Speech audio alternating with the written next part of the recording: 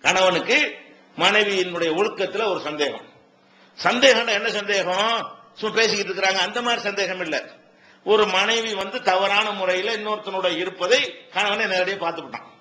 இஸ்லாமிய சட்ட பிரகாரம் ஒரு பெண்ணை வந்து தப்பான ஒரு நிலையில ஒரு இன்னொருத்தரோட நீங்க பார்த்தீர்களே ஆனால் உங்களுக்கு என்ன ரூல் மார்க்கத்துல? அதை சொல்லக்கூடாது. உங்க மனைவி அல்லாத ஒரு பெண்ணை நீங்க என்ன செய்றீங்க? ஒரு தப்பான ஒரு நில- நிலவரத்துல பாக்குறீங்க. அப்படி பார்த்தீர்களே ஆனால் இஸ்லாமிய சட்டம் என்ன சொல்லுதுன்னு கேட்டா நாலு பேர் பார்த்தா தான் போய் சொல்லணும். ஒரு ஆள் பார்த்தா என்ன செய்யக்கூடாது? அது உண்மையா இருந்தாலும் உலக சட்டத்துல பொய்ன்னு தான் தீர்ப்பளிக்கணும். உலக சட்டத்தில் என்ன செய்யணும்? உண்மையாவே நீங்க பார்த்துட்டீங்க ஒரு பெண்ணு வந்து புருஷன் இல்லாத இன்னொருத்தனோட இருப்பதை இருப்பதை சும்மா பஸ்ல உட்கார்ந்து இருக்கிறது இல்ல.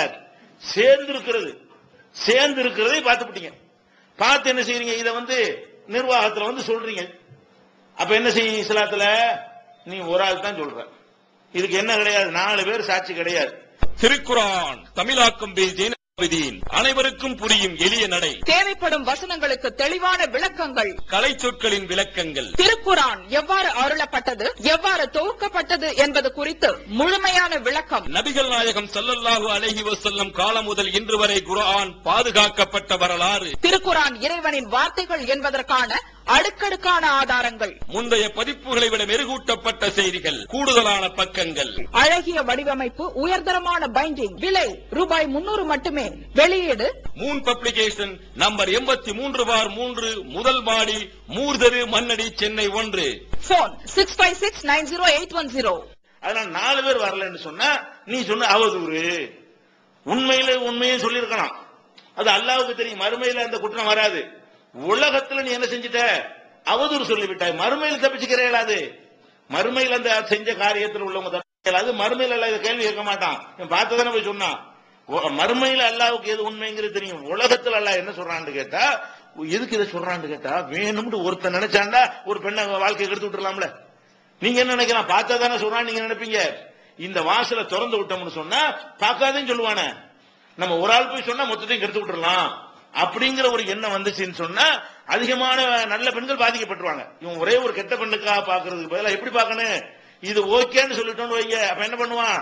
எந்த பொம்பளையாவது பிடிக்கலன்னு வைங்க. அல்ல அவனுக்கு பிடிச்சிருக்குன்னு வைங்க. அப்ப வயந்திய களை போட்டு புருஷனை மண்டாட்டி பிரிச்சு விட்டு அவன் அவன் அடையிறதுக்கு முயற்சி பண்ணுவான். அப்படிலாம் செய்வானா இல்லையா? அப்ப நம்ம இப்படி சொன்னோம்னு சொன்னா வேணான்னு விட்டுருவான். நம்ம அவளை கல்யாணம் பண்ணிக்கிறோம்னு கூட போய் சொல்லுவான். அப்ப இந்த அவதூறுகள் இந்த இதுக்கு ஒரு லிமிட் பண்ணி ஆகணும். இந்த மாதிரி காரியங்களுக்கு என்ன செய்யணும்? லிமிட் பண்ணி ஆகணும். ஏன்னா பார்த்ததே சொல்றதுக்கு வாய்ப்பு இருக்கிற மாதிரி பார்க்காத சொல்றதுக்கு வாய்ப்பு இருக்கிறது அதுக்கு தான் அல்லாஹ் என்ன சொல்றான்னு கேட்டா அல்லது எருமூனல் முகசனாத்தி அதாவது ஒழுக்கமான ஒரு பெண்கள் மீது இந்த மாதிரி ஒரு படி யாராவது சுமத்துவார்களே ஆனால் நான்கு சாட்சிகளை அவர்கள் கொண்டு வரணும். கொண்டு வராகிவிட்டால் ஃபஜ்லி தூகும் சமானின ஜல்தா. எண்பது கசையடி கொடுக்கணும். மூணு பேர் பார்த்துட்டு சொல்றான். மூணு பேருக்கும் சவுக்கடி கொடுன்றாங்க இஸ்லாமிய அரசாங்கத்துல. ஆனால் இதுக்கு அல்லாட்ட கேள்வி வராது. நேரடியா பார்த்து சொன்னான்னா அல்லா கேள்வி கேட்க மாட்டான் மறுமையில. பொய் சொன்னா அதுக்கு அந்த- அந்த கேள்வி எல்லாம் கேட்பான். உலகத்துல என்ன ரூலு? நம்ம அல்லாவா? மனசில் உள்ளதா கண்டுபிடிக்க முடியும். நம்ம மனுஷனா தான் தீர்ப்பளிக்கணும். அப்ப நம்ம என்ன பண்ணணும் நீ சொன்னது உண்மையா இருந்தாலும் இப்படி சொல்லக்கூடாது. பார்த்தா கூட என்ன செய்யணும் இந்த மாதிரி எந்த இது பாக்குறது விபச்சாரம் செய்தார்கள்ங்கிறதுக்கு தான் இந்த கணக்கு. வேற வேற விஷயத்துக்கு நாலு பேர் வேண்டியது இல்ல பஸ் ஸ்டாண்ட்ல சுத்திட்டு இருக்கவங்க பொண்டாட்டி. இதெல்லாம் சொல்லலாம். சுத்திக்கிட்டு இருக்க நான் பார்த்தேன். அல்லது வந்து இந்த அவரோட தனியா போயிட்டு இருக்குது இந்த பீச்ல உங்க ரெண்டு உட்கார்ந்து இருக்கிறாங்க அந்த மாதிரி சொல்றதுக்கு என்ன வேண்டியது இல்ல? எந்த குற்றத்துக்கு வந்து இஸ்லாத்துல தண்டனை வழங்கப்பட்டிருக்கிறதோ? கல்லறிஞ்சு கொல்லணும். அல்ல நூறு அடி அடிக்கணும் இருக்குல்ல? அது எதுக்கு? விபச்சாரத்துக்கு தான். விபச்சாரம் செஞ்சாங்கன்னு சொல்றதுக்கு தான் நாலு பேர் வேணும். அந்த குற்றச்சாட்டை சொல்றதை தவிர அது கீழே உள்ள விஷயத்தை சொல்றாங்க நீ பார்த்ததை சொல்லலாம். ஒரு கணவனை எச்சரிக்கிறதுக்காக வேண்டி. உன் மனைவி வந்து போய் சும்மா அந்த கடைக்கு போயிட்டு இருக்காங்க நாங்க போயிட்டு இருக்கிறாங்க இது சரியில்லைங்கன்னு அதுவா சொல்லணும். ஏன்? அது திருத்தத்துக்காக உள்ள விஷயமே தவிர அதுக்கு எந்த ஒரு தண்டனையும் கிடையாது. ஆனா இதுக்கு என்ன ஆயிரும் மரண தண்டனை கொடுக்க வேண்டிய ஒரு குற்றம் இது. அதை ஒரு பெண் மேல பழைய சுமத்தி அவளை சாவடிக்க முடியுமா? அப்ப அந்த மாதிரி விபச்சாரத்திற்கு தான் எது வேணும்?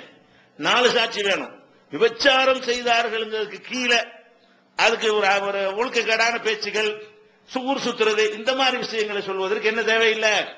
நாலு சாட்சி வேண்டியதில்லை. அப்ப மூணு பேர் பார்த்துட்டு வந்தாலும் அவனை அடிதான் விடும் இஸ்லாமிய அரசாங்கத்தில் என்ன செய்யும் எத்தனை ஆயிஷா நாயகர் மீது அவதூறு சொன்னாங்க. அது நெசமா அவதூறு.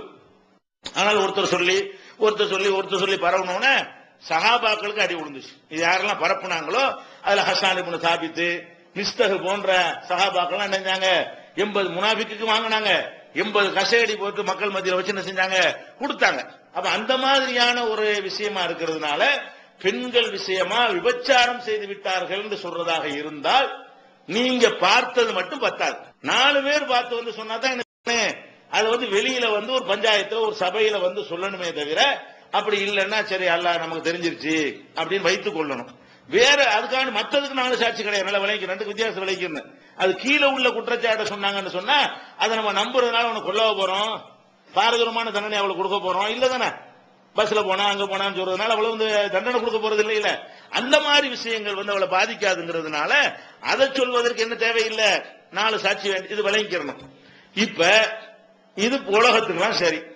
உங்களை ஒண்ணும் பாதிக்க போறல எவ்வளவு ஒருத்தி அவனோட இருக்கிறான்னு வைங்க. அதை நீங்க பாத்துட்டு வைங்க. இதெல்லாம் உங்களுக்கு என்னண்டா உங்களுக்கு ஒண்ணுமே கிடையாது. அதே நேரத்துல ஒரு மனைவி கணவன் பார்த்துட்டா அவன் மேட்ராகி போயிருது இப்ப.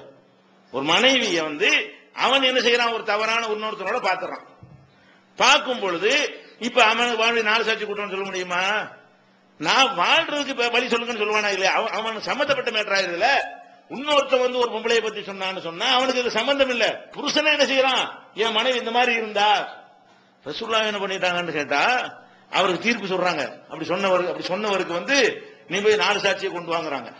அப்படிதான் முதல் சட்டம். அவர் என்ன கேட்கிறாரு என் பொண்டாட்டியோட ஒருத்தன் படுத்து கிடக்கும் போய் நம்ம ஊரை கூட்டி நாலு பேரை கூட்டிட்டு வருவானா? நான் கூட்டிட்டு வருவோம் அறுபது அப்படி கேட்க ரசூலாட்ட ஏத்து கேட்கிறாரு. நீ என்ன நாலு பேரை கூட்டு வர சொல்றீங்க என் மனைவியோட ஒருத்தன் இருக்கும் பொழுது நான் போய் நாலு பேரை கூட்டிட்டு காட்டுவேனா? அறுபது எடுத்து வெட்டு வேணாங்கிறாரு அறுபது எடுத்து நான் வெட்டு வேணா நான் போய் நாலு பேர் கூட்டிட்டு வருவேனா? அப்படின்ன உடனே அப்ப ரசூலா என்ன செய்றாங்க நீங்க ரொம்ப ரோசக்காராளா இருக்கிறீங்க. அல்ல அதுக்கு மேல ரோசக்காரன். அப்படின்னு சொல்லிட்டு அல்லாவுடைய வசனத்தை அல்லாஹ் என்ன செய்யறான் அதுக்கு ஒரு வசனத்தை அருளிடலாம் அதாவது மனைவிமார் மீது இந்த மாதிரி பழி சுமத்துவர்களுக்கு நாலு சாட்சி சட்டம் இல்லை. அவர் கரெக்டா தான் கேட்டிருக்காரு. ரசூல்லா ஏத்து கேட்டாலும் அவர் கேட்ட கேள்வி என்னது? கரெக்ட் தான். அவர் ரசூல்லா ஏன் சொன்னாங்க? வகையில உள்ளது சொன்னாங்க. இந்த ஆயத்து வர்றதுக்கு முந்தைய என்ன செஞ்சாங்க? சொன்னாங்க. அல்லாஹ் என்ன பண்ணிட்டான்? இது கிடையாது.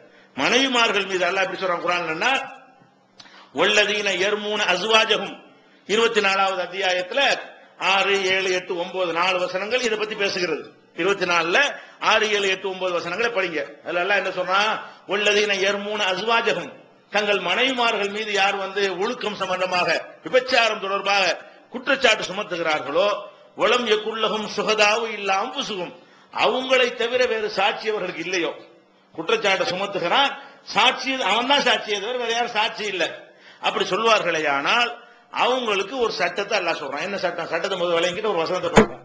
சட்டம் என்னன்னு கேட்டா ஜமாத்துல வந்து சொல்றாரு என் மனைவி வந்து இன்னொருத்தனோட இருக்குன்னு நான் பார்த்தேன்.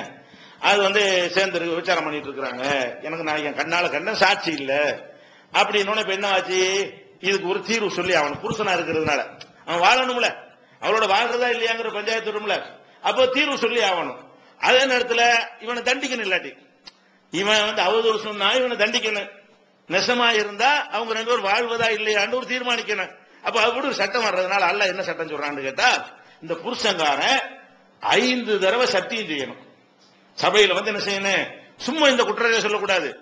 அல்லா அல்லாஹ் மீது சத்தியமாக இவள் இன்னாரோடு இப்படி இருந்ததை என் கண்ணால் பார்த்தேன். அப்படின்னு அல்லாஹ் மேல சத்தியம் என்று ஒரு தடவை. ரெண்டாவது தடவை இதே மாதிரி அவன் சொல்லணும். மூணாவது தடவை இதே மாதிரி சொல்லணும். நாலாவது தடவை இதே மாதிரி சொல்லணும். அஞ்சாவது தடவை ஒன்னு சேர்த்து சொல்லணும். அஞ்சாறு ரெண்டு சொல்லணும். நான் சொன்னது பொய்யாக இருந்தால் நான் இப்ப சொன்னதெல்லாம் உண்மை. நான் சொன்னது பொய்யாக இருக்குமே ஆனால் என் மீது அல்லாவுடைய சாபம் இறங்கட்டும். ஒரு பெண் மீது பழி சுமத்தி இருந்தா சும்மா விடக்கூடாதுல்ல? நீ நாலு தடவை சத்தியம் பண்ணிடு. நாலு சாட்சிக்கு பதிலா ஒருத்தனை நாலு சாட்சி சொல்லு. வேற ஒண்ணும் கிடையாது. நாலு சாட்சிக்கு பதிலா என்ன செய்யறான்ல? நீ ஒருத்தனை நாலு தடவை சத்தியம் பண்ணு. நீ புருஷன் வந்துட்டீங்களா நடந்தாலும் அதனால நாலு சத்தியம் நாலு சத்தியம் பண்ணிடணும். அஞ்சா சத்தியம் எப்படி பண்ணனே? இது வந்து என் மீது நான் பொய் சொன்ன மனைவியின் மீது நான் வீண் பலி சுமத்தி இருந்தால் என் மீது அல்லாவுடைய சாபம் இறங்கட்டும் அப்படின்னு சொல்லணும். சொன்ன உடனே அவ என்ன செய்யணும் இப்ப? இது உண்மையாயிரும்ல இப்ப? இவன் சொன்னது சத்தியம் பண்ணிட்டான்னு சொன்னா உண்மையாயிரு அவளை தண்டிக்கணும் இப்ப. தப்பா இருந்தாலும் தண்டிக்கணும் வந்துருதுல அவளுக்கு என்ன சான்ஸ் கொடுக்கப்படும் இவன் ஒருத்தன் தான் சொல்றான். இவன் சொல்ல கேட்டு உன்னை தண்டிக்க இயலாது. நீ என்ன சொல்ற? நான் மறுக்கிறேன். அவ என்ன செய்வா? மறுப்பா. மறுத்தான்னு சொன்னா அவளுக்கும் என்ன செய்யப்படும் இதே மாதிரி அஞ்சு சத்தியம் பண்ணும். எப்படி பண்ணனே? இவர் சொல்றது பொய். இது மாதிரி ஒரு நடக்கல இது அல்லாம சத்தியம். ரெண்டாவது இதே மாதிரி சொல்லணும். மூணாவது தடவை இதே மாதிரி சொல்லணும். நாலாவது இதே மாதிரி சொல்லிட்டு நான் சொல்வது அஞ்சாவது தடவை நான் சொல்வது பொய்யாக இருந்தால் என் மீது அல்லாவுடைய சாபம் இறங்கட்டும். அது தனக்குத்தானே ரெண்டு பேரும் சாபத்தை கேட்டுக்கொள்வது. இவனும் தன் மீது நான் போய் சொல்லி இருந்தா என் மேல சாபம் வரட்டும் அவனும் சொல்லணும். நான் போய் சொல்லி இருந்தா என் மேல சாபம் வரட்டும் இவளும் சொல்லணும். இப்படி சொன்ன உடனே இவன் அவதூறு குற்றத்திலிருந்து அவன் தப்பிச்சுக்கிறான். ஏன் நாலு சத்தியம் பண்ணி சொல்லிட்டதுனால? அல்லா மேல பொறுப்பு விட்டதுனால இவளுக்கு தண்டனை கொடுக்கணும்ல விபச்சாரம் செஞ்சாண்டு உறுதியானா? அதுல இருந்து இவன் தப்பிச்சுக்கிறான் ஏன்? இவளும் மறுத்துட்டான் அவனும் அல்லா மேல சத்தியம் பண்ணி சொன்னதுனால அவதூறுன்னு வராது. இவளும் அல்லா மேல சத்தியம் பண்ணி மறுத்துறதுனால இவ செஞ்சான்னு வராது. இப்ப அந்த ரெண்டு பேருக்கும் உலக தண்டனை கேன்சல் அவனுக்கு அவதூறு தண்டனை கிடையாது. இவளுக்கு விபச்சாரத்துக்குரிய தண்டனை இவளுக்கு கிடையாது. ஆனால் இது முடிஞ்ச உடனே நீ வந்து புருஷன் இல்ல நீ பொண்டாட்டி இல்ல பிரிச்சிடணும். அந்த நிமிஷமே. இது ஒரு விவாகரத்துல ஒரு முறை. இது என்னது? விவாகரத்துல ஒரு முறை என்ன? இதோட நீ நீ புருஷன் கிடையாதுப்பா.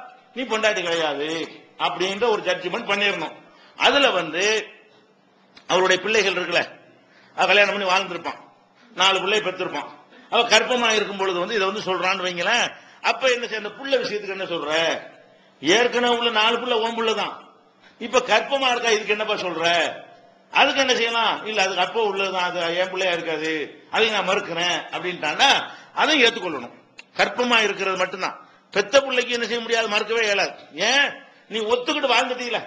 என் பிள்ளைதான் என் பொண்டாட்டான்னு இருந்து வாழ்ந்துட்ட எப்ப நீ இந்த கேஸ் கொடுக்குறியோ அந்த நேரத்தில் அவர் கர்ப்பிணியா இருந்தாலேயானால் அது என்னன்னு கேட்போம். அவன் என்ன செய்வான்? இல்லைங்க அது என் புள்ள தான் ஆனா இவன் நடத்ததும் சரியில்லைன்னு சொன்னான்னு வைங்க. அவ புள்ள விஷயம் வயசுல முடிஞ்சிருச்சு. இவன் புள்ளன்னு ஒத்துக்கிற வேண்டியதான் அவன் மறுத்துட்டான்னு சொன்னா இல்ல இவ்வளவு பெரிய பொறுப்பில் அல்லாட்ட போட்டு விட்டான். சாப அளவு கேட்டான்ல. அதுக்கப்புறம் போட்டு அவன் பிள்ளைன்னு சொல்ல முடியாது. இப்ப என்ன செய்யறது? அந்த புள்ள தாயோட சேர்த்துருவாங்க. வாரிசாவெல்லாம் ஆக முடியாது. சந்தேகத்தை அப்ப அந்த பிள்ளையில எனக்கு சந்தேகம் இருக்குது. அந்த பிள்ளை எனக்கு பிறந்திருக்காது. எனக்கு உண்டாயிருக்க வாய்ப்பு இல்லை அப்படின்னு சொன்னானே ஆனால் அந்த ஒரு குழந்தை மட்டும் எந்த குழந்தை வயிற்றில் இருக்கிறதோ அந்த ஒரு குழந்தைக்கு மட்டும் இவன் என்ன இல்ல? தகப்பன் என்று சட்ட ரீதியான ஒரு அந்தஸ்து வராது. சட்ட ரீதியான அந்தஸ்து வரலன்னு சொன்னா இவன் செத்துட்டா இவன் சொத்துல இருந்து மகன் அவனுக்கு கிடைக்காது. அந்த மகன் செத்துட்டான்னு சொன்னா அவன் சொத்துல இருந்து இவனுக்கு என்ன தகப்பன் மகன்கிறது கிடையாது. தாயோட தான் சேர்த்து சேர்த்து விட வேண்டும்ங்கிறது சட்டம்.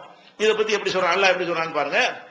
உள்ளதீன ஏர்மூன அசுவாஜகம் மூலம் எக்குள்ளஹு சுகதாவும் இல்ல அம்புசுகும் யார் வந்து தங்கள் மனைவிமார்கள் மீது விபச்சார பழி சுமத்துகிறார்களோ அவர்களுக்கு தங்களை தவிர வேறு சாட்சிகள் இல்லையோ தகாது அகதியும் அருமா ஷஹாதாத்தின் பில்லாஹி இன்னகுல மின சாதுகீன் நான் உண்மைதான் சொல்கிறேன் என்று அந்த ஒருவனை நாலு தடவை என்ன செய்யணும்? சாட்சி சொல்ல வேண்டும். நாலு தடவை சாட்சி சொல்லிட்டு ஒல் ஹாமிசத்து அன்ன லானத்தல்லாஹி அலைஹி இன்கான மினல் காதிபீன். நான் பொய்யனாக இருந்தால் என் மீது அல்லாவுடைய லா- லானத்து இறங்கட்டும். அல்லாவுடைய சாபம் இறங்கட்டும் என்று ஐந்தாவது தடவை சொல்ல வேண்டும். இதாயிருச்சு. அடுத்து வந்து அல்லாஹ் சொல்றான் ஓ எதிரவு அன்ஹல் அதாப். அவள் தனக்கு வரக்கூடிய தண்டனை விபச்சாரத்துக்குன்னு ஒரு தண்டனை கொடுக்கணும்ல.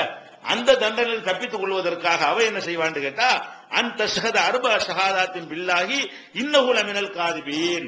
இவன் சொல்றது பொய். என் புருஷன் சொல்றது பொய் என்று சொல்லி அல்லாஹ் மேல நாலு தடவை என்ன செய்யணும்? சத்தியம் பண்ணி சொல்லணும். ஒல் ஹாமி சத்திய கலவல்லாஹி அலைஹா இன்கான மின சாதுகேன். அஞ்சாவதா சொல்லணும் இவன் உண்மை சொல்லி இருந்தால் என் மீது ஒரு பழியை சொல்லியிருக்கிறான்ல அதுல அவன் சொல்லுவது உண்மையாக இருந்தால் என் மீது அல்லாஹ்வுடைய கோபம் வரட்டும் என் மீது அல்லாஹ்வுடைய கோ- லானத்தை இறங்கட்டும்னு சொல்லி அவ சொல்ல வேண்டும். இதோட இதான் இதுக்கு பேர் லிஆன். லிஆன் பேரு. லீனா அவனா என்னன்னா லிஆன் என்று இதுக்கு பேரு. இந்த மாதிரி ஒருத்தருக்கு ஒருத்தர் சபித்துக் கொள்ளுதல். இப்படி சபித்து கொண்டு பிரிந்துட்டாங்கன்னு சொன்னா அதுக்கப்புறம் வந்து மீட்ரு மேட்லாம் கிடையாது. தலாக்குக்கு மீட்டுறாருல. மூணு மாசம் கழிச்சு இவ்வளவு பெரிய வேலையை சொல்லி மரணம் மீட்டுறதுங்கிறேன். இவ்வளவு பெரிய பழிய சொல்லிவிட்டு அதுக்கப்புறம் மீட்டிக்கிறதுக்கு அவகாசம் கொடுக்கலாமா? மீட்டுறதுக்கு அவகாசம் கொடுக்க முடியாது. இதோட பினிஷ் முடிஞ்சு போச்சு. அவ வயித்துல கற்பம் இருக்கான்னு பாத்துறதுக்காக ஒரு மூணு மாசம் காத்து இருந்துட்டு வேற கல்யாணம் பண்ணிட்டு போயிருந்தமே தவிர இந்த மூணு மாச காலத்துல வீட்டுக்குள்ள வச்சுக்கணுங்கிற சட்டம் வராது. மூணு மாசத்துக்கு சோறு கொடுக்கணுங்கிறது வராது. இவன் கஷ்டத்துல இருக்கணும்னு வராது. இவன் ஒரு பழிய ஆனா என்ன வரும் பொய் மாத்திரம் சொல்லியிருந்தான்னு வை அப்ப என்னவாயிரும் நீங்கள கேட்டிருக்கிற வேற யாரும் உனக்கு எதிராக துவா செய்யல. யாரெல்லாம் நான் பொய் சொல்லி இருந்தா என் மேல உன் சாபம் வரட்டும்னு கேள்விப்பட்டீல அது வரும். இது சாதாரண விஷயம் இல்ல. ஒரு பெண் மீது மனைவியின் மீது பழி சுமத்தல் என்பது பழியா மட்டும் இருந்துச்சுன்னு வைங்க. அப்ப என்னவாயி போயிரு? அவளாவது தன்னை காத்துக்கிறதுக்காக வேண்டி ரெண்டாவது சத்தியம் பண்றா. இவன் தான் பயங்கரமான ஒரு சாபா. அதுக்கு அல்லாஹ் ரெண்டு பிரிச்சு போடுறான். அவனுக்கு போடும்போது லகனத்துன்னு போடுறான். இவளுக்கு போடும்போது கோபம்னு போடுறான். இவளுக்கு என்ன இவ வந்து காத்துக்கொள்வதற்கு தானே இவ சொல்றா? அவன் செஞ்சு இருந்தா கூட அவ என்ன செய்யறா அவன் யாருமே பழி இல்லாம சுமத்தல. தன்னை சேஃப்டி பண்ணுவதற்காக வேண்டி அவன் என்ன செய்யறா இருந்தா கூட எல்லாமே இல்லைங்கிறான். அப்ப அவளுக்கு சொல்லுமா என்ன செய்யுது? அண்ணா கலபல்லாஹி அலையா என் மீது அல்லாவுடைய கோபம் வரட்டும்னு அவ சொல்றா. அவன் சாபம் வரட்டும் லானத்தை அவன் கேட்கறான் அவனுக்கு அல்ல வார்த்தையும் மாத்தி போடுறான் பாருங்க வித்தியாசமா. ரெண்டு சமம் கிடையாது. தன்னை சேஃப்டி பண்றதுக்கு மறுக்கிறதுக்காக ஒருத்தன் போய் சொல்றதுங்கிறது ஒரு வழி ஒரு இட்டுக்கட்டி ஒரு ஆள் மேல அவ- அவதூறு சொல்றது ரெண்டு சமமானது கிடையாது. அப்ப என்ன விளைவிக்கிறனே இவ்வளவு பெரிய பாரதூரமான நீ சொன்னதுனால உங்ககிட்ட இருந்து தொகையை வாங்கி கொடுக்கணுங்கிறது. அவளுக்கு வீட்டுல வச்சு பராம அந்த பிரச்சனை வராது. மூஞ்சில முழிக்கிறோம் அதுக்கப்புறம். இப்படி உன்னை வந்து ஒரு சபையில போட்டு சொல்லி யாரெல்லாம் உன் லானத்தை இறக்குன்னு சொன்ன பிறகு லானத்துக்குரிய ஆளோட எப்படி சேர்ந்துக்கிட்டு ஒன்னா உட்கார்ந்து இருக்கிறது அதோட எல்லா பஞ்சாயத்தும் முடிஞ்சு போயிடும் எந்த விதமான ஒட்டு உறவு திரும்ப கல்யாணம் பண்றது அந்த மேட்சே என்ன செய்யாது? இருக்கவே இருக்காது. இது வந்து ரசூல் சல்லா செல்லம் காலத்துல கூட என்ன ஆகுதுன்னு கேட்டா ஹிலால் உமையாங்கிறவர் அவர் இதே மாதிரி தன் மனைவியின் மீது என்ன செய்யறாரு இந்த மாதிரி மனைவியை மனைவிய விபச்சாரம் பண்ற நான் பார்த்துட்டேன் அப்படிங்கிறார். வரணும்னு இந்த மாதிரி பள்ளிவாசல் வச்சு என்ன செய்யறாங்க பள்ளிவாசல் வச்சு அது நடக்குது? பள்ளிவாசனை கோர்த்துங்க கோர்த்துனா தான்? எல்லாமே பள்ளிவாசல் தானே. பள்ளிவாசல் வச்சு பேசும்போது அவர் என்ன செய்யறாரு இந்த மாதிரி நாலு தடவை சத்தியம் பண்ணி அஞ்சாவது தடவை பண்ணிவிட்டாரு அந்த பொம்பளை என்ன பண்ணுச்சு? நாலு தடவை மறுத்துவிட்டு அஞ்சாவது சொல்லும் போது எல்லாரும் சொல்றாங்க யோசிக்கமா எனக்கு தெரியும் போல இருக்கு இந்த நடவடிக்கைகள் பார்த்து அக்கம் பக்கத்துல ஆளுக்கு தெரியும் போல இருக்கு. இவர் யாரும் தடுக்க காணாம்? அந்த பொம்பளை சொல்லுவாங்க உண்மை அந்த பொம்பளை தப்பு? உண்மையில அந்த யார் மேலாம் தப்பு இருக்கு? அந்த பொம்பளை மேலாம் தப்பு இருக்கு. ரசூல்லா அது சொல்றாங்க. இவ வந்து இந்த மாதிரி தப்பா இருந்தால் இவளுக்கு பிறக்கிற குழந்தை இப்படி இருக்குங்கிறாங்க. ரசூல்லா சொன்ன மாதிரி பிறந்துச்சு. இன்னஹா மூஜிபா. இந்தம்மா யோசிக்க நீ போய் சத்தியத்தை பண்ணி தொலைச்சாண்டு வை அது அல்லாவுடைய கோபம் ஏற்பட்டு போய் நல்லா யோசிக்கின்ற உடனே அப்படியே பின்வாங்குது. பின்வாங்கிட்டு என்ன பண்ணுது அப்புறமேலே? நான் என் என்னுடைய குல கௌரவத்தை நான் விடுவேனா? நான் பாட்டுக்கு இதை ஒத்துக்கிட்டேன்னு வைங்க. அப்ப என்னுடைய சமுதாயமே காரி துப்பிருமே. என் சமுதாயத்துக்கு கேவலமா போயிருமேன்னு சொல்லிக்கிட்டே என்ன செய்யறதம்மா அம்மா? பொய் சித்தியம் சொல்லிக்கிட்டே சொல்லிடு பொய் பொய் தான் சொல்றேன் அந்த அம்மா ஒத்துக்கிட்டே என்ன பண்ணுது? இல்ல இல்ல நான் என்னுடைய சமுதாயத்தை நான் இழிவுபடுத்த மாட்டேன். என்னுடைய மக்களை ஒரு க- இந்த மாதிரி உங்க குளத்துல ஒரு பெண்ணு விபச்சாரம் பண்ணிட்டாலாம்லன்னு கேட்டா என்னுடைய சமுதாயத்துக்கு அது கேவலம் அப்படின்னு சொல்லிவிட்டு அது வந்து அந்த அம்மாவை சத்தியம் பண்ணிட்டாங்கிற செய்தி வந்து புகார்ல இருக்கிறது அதே மாதிரி வந்து இன்னொரு சஹாபி என்ன செய்யறாரு இதே மாதிரி ரசூல் சல்லாசன் முன்னாடி வந்து மனைவியின் மீது இந்த மாதிரிலாம் பழி சுமத்துவார். அவன் பழி சுமத்தும் என்ன செய்யறான்னு கேட்டா அந்த அம்மா வந்து கற்பிணியா இருக்குது. இவர் மனைவியின் மீது பழி சுமத்தும் பொழுது அந்த அம்மா என்னவா இருக்கிறது? கர்ப்பிணி பெண்ணாக இருக்கிறது. அப்ப கர்ப்பிணி பெண்ணா இருந்தவன அதை மறுத்துட்டார் அவர். இந்த கற்பம் என்னால் ஏற்பட்டது இல்ல. அந்த அந்த கற்பத்தில் உள்ளது மட்டும்தான். அப்ப என்ன செஞ்சாங்கன்னா ரசூல் சல்லாசனம் வந்து வந்து உன் பிள்ளை இல்லைங்கிறீங்கள அவ தாய் பேர்ல அழைக்கப்படட்டும். தகப்பா யாருன்னு தெரியல. அவ தாயுடைய அந்த தாய் இன்னாருடைய பிள்ளைன்னு சொல்றா பாத்திமா பிள்ளைன்னு சொல்லணுமே தவிர என்ன செய்யக்கூடாது? இப்ராஹிம் பிள்ளைன்னு சொல்லிடக்கூடாது. அப்ப அந்த அந்த அந்த மாதிரி என்ன மறுத்துட்டான்ல இல்ல என்று சொல்லும்போது அவன் தலையில சுமத்த முடியாது. அப்ப அந்த மாதிரியா சொல்லிக் கொள்ளட்டும் சொல்லி பிரித்து வைத்தார்கள் இந்த செய்தி ஐயாயிரத்தி புகாரில் ஐயாயிரத்தி முன்னூத்தி ஒன்பது ஐயாயிரத்தி முன்னூத்தி பதினஞ்சு ஆறாயிரத்தி எழுநூத்தி நாற்பத்தி எட்டு இந்த அதிசயம் எல்லாம் இருக்குது இது போக இந்த மாதிரி ஒரு கேஸ் கொடுத்தவன இவர் உலகம் சொல்லிட்டு என்ன செய்யறாருன்னா நிறைய காசு மனைவிக்கு ஒன்னா சேர்ந்து இருக்கும் பொழுது நிறைய நகை நட்டு அதெல்லாம் வாங்கி கொடுத்துருப்பாரு. அந்த காலத்துல நகை நட்டுலாம் நிறைய கொடுத்துருப்பாரு. அவர் என்ன பண்றாரு? அதெல்லாம் சரி நான் கொடுத்த காசு பணமா என்ன அப்படிங்கிறாரு. ரசூல்லா வந்து பிரிச்சு வச்சு முடிச்சுன்னு சொன்ன போகாம என்ன பண்றாரு? அப்ப அந்த அதெல்லாம் என்ன ஆச்சு அப்படின்னு கேட்கிறாரு என்னுடைய பணம்லாம் என்னுடைய சொத்துலாம் அப்படின்னு கேட்கிறாரு அது எப்படி வருதுன்னு கேட்டா அந்த ச- அந்த சத்தியம் பண்ணி முடிச்சவனே சத்தியத்துக்கு முன்னாடி ரசூல்லா சொல்றாங்க ஹிசாபுக்குமா அளவுதான் உங்க ரெண்டு பேரை பத்தி கணக்கு தீக்கிறது அல்லதான். நான் மனுஷன். யாரு உண்மைன்னு எனக்கு தெரியாது. நீங்க நல்ல அதே நேரத்தில் அகதுக்குமா காதிபன் ரெண்டுல ஒரு ஆள் பொய்யர். அதுல டவுட் கிடையாது. ரெண்டு பேர் பொய்யா இருக்குமா? ரெண்டு பேர் உண்மையா இருக்குமா? உன்னும் புருஷன் பொய் சொல்லிருக்க நீங்க ரெண்டு பேர்ல ஒரு ஆள் பொய்யருங்கிற சந்தேகம் கிடையாது. யாரு பொய்யர்னு எனக்கு தெரியாது. அகதுக்குமா காதிபன் உங்களை ரெண்டு பேர்ல ஒரு ஆள் பொய்யர் சொல்லிட்டு என்ன செய்யறாங்கன்னா லா சபீல லக்க அலைகா உனக்கு இனிமே அவள்கிட்ட சேர்வதற்கு எந்த வழியும் கிடையாது. சத்தியம் சொல்லிட்டீங்களப்பா? இனிமே கிடையாது போப்பான்றாங்க. அப்ப அவர் என்ன சொல்றாரு கேட்டா யார் சொல்லலாம் மாலி? நான் கொடுத்த காசு பண்ணமுலாம் அப்படிங்கிறாரு. அப்ப ரசூலா என்ன சொல்றாங்கன்னா லா மால லக்க. காசு பணம்லாம் கிடையாது. இந்த மாதிரி சத்தியம் பண்ணி சொல்லிவிட்டேன்னு சொன்னா என்ன கிடையாது? காசு பணம்லாம் கொடுத்தா திருப்பி வாங்கி தர முடியாது. ஏன்? நீ சொன்னது உண்மைன்னு வச்சுக்கிருவோம். ரசூல்லா சொல்றாங்க. நீ அவ மேல சொன்ன பழி உண்மைன்னு வைத்துக் கொண்டாலும் இதுவரைக்கும் அனுபவிச்சு இல்ல. அதுக்கு சரியா போச்சு. ஒருவேளை நீ பொய் சொன்னு வை அது அதை விட மோசம். கேட்கவே இல்லாது நீ உண்மை சொன்னாலே உனக்கு அந்த காசு இல்லைன்னு சொன்னா நீ பொய்யா பரிசு மொத்தனை எப்படி அந்த காசு தர்றது? பார்க்க அபுவாத்துல கமின்ஹா அப்படி கேட்கறது ரொம்ப அநியாயம் பாயுது அப்ப என்ன விளங்குனு? இந்த லியான்னு சொல்லி பழி சுமத்தும் பொழுதே கேட்கக்கூடாதுன்னு சொன்னா தலா கூட்டு கேட்கறாங்க. எத்தனை பேர் பண்றான் தலாக்குங்கிறது அவன் எந்த பழியும் கிடையாது. சாதாரண பிடிக்கலன்னு தலா விட்டு பஞ்சாயத்துல கொண்டாந்து என்ன பண்றான்? நான் அது வாங்கி கொடுத்தேன் நான் இது வாங்கி கொடுத்தேங்க தாங்கங்கிறான். எப்படி கேட்ப நீ?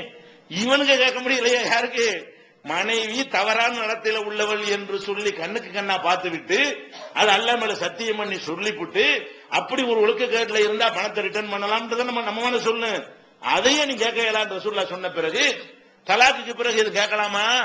விவாகர இதுக்கே கேட்கக்கூடாது. விவாகரத்து பண்ணிட்டோம்னு சொன்னா கொடுத்து இஸ்லாத்துல என்ன இருக்கு? கொடுத்தா ஒன்ஸ் கொடுத்தா கொடுத்ததாங்க இஸ்லாத்துல யாருக்கு நீங்க கொடுத்தாலும் சரிதான் கொடுத்துட்டு திருப்பி கேட்டால் அல் ஆயுது ஃபில் ஹிபத்தி கல் கல்வில்லது எக்கை சும்மையாவது இந்த கொடுத்த அன்பளிப்பை திருப்பி கேட்கக்கூடியவன் வாந்தி எடுத்து விட்டு அதையே திரும்ப சாப்பிடுமே. அந்த நாய் நாய் சாப்பிடும் போல இருக்கு. வாந்தி எடுத்து கக்கிப்புட்டு அதையே திருப்பி சாப்பிடுறது நாய். அந்த நாய் நீன் ஒண்ணு அப்படிங்கிறாங்க. அதனால மனைவியாக வாழ்ந்த காலத்தில் நீங்கள் எதை கொடுத்திருந்தாலும் சரிதான். அன்பளிப்பும் கொடுத்து ரெண்டு வகையா கொடுக்கலாம். சும்மா வச்சுக்க அவர் வாங்கிக்கிறேன்னு கொடுக்கலாம். அந்த மாதிரி கொடுத்தா வாங்கிக்கலாம். இந்த உனக்கு தான் இது. என்று எதையெல்லாம் கொடுத்து விட்டீர்களோ அதை பஞ்சாயத்துல வைக்கக்கூடாது இந்த கண்டிஷன்ல வைக்கக்கூடாது இல்லையா? ஆன் பண்ணுனா கூட என்ன செய்யக்கூடாது? வைக்கக்கூடாதுன்னா கூடாதுன்னா வைக்கலாமா அதனால கொடுக்கல் வாங்கல் பஞ்சாயத்து என்ன செய்யக்கூடாது?